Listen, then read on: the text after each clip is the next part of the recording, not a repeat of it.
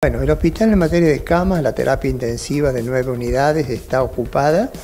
No todos los respiradores se están usando, se habilitó una terapia intermedia, las cuales el paciente es con estado crítico pero no tan severo, hay uno solo con respiradores, la disponibilidad de respiradores es adecuada, el internado está lleno de pacientes con este, enfermedades moderadas y ahora se está viendo la posibilidad de ampliar otra área eh, con camas con oxígenos para pacientes más leves, pero sobre todo para provocar una rotación de los pacientes y favorecer las altas, porque la demanda sigue siendo incesante. Ayer, eh, ayer cuatro pacientes nuevos ingresados, es decir, tenemos capacidad para recibir pacientes, pero esa movilidad para nosotros es crucial para desocupar las camas. Ahora tenemos internados compañeros de trabajo del hospital, compañeros de la universidad, familiares este, de compañeros de la universidad y el hospital entonces está eh, trabajando a full para exponerse a disposición de todas estas personas que nos necesitan.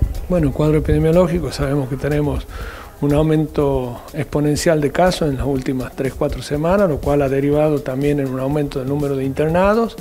Sí, hoy tenemos prácticamente un 90% de ocupación acá en, el Hospital Virgen María de Fátima, este, lo cual, bueno, demuestra la gran importancia que ha tenido este hospital, como te digo, en, en, esta pandemia, ¿sí? en la cual tiene hoy casi 45 camas ocupadas, este, brindando atención de la mejor a nuestra gente. El mensaje a la comunidad creo que lo vemos todos. El mensaje lo estamos diciendo hace cinco meses.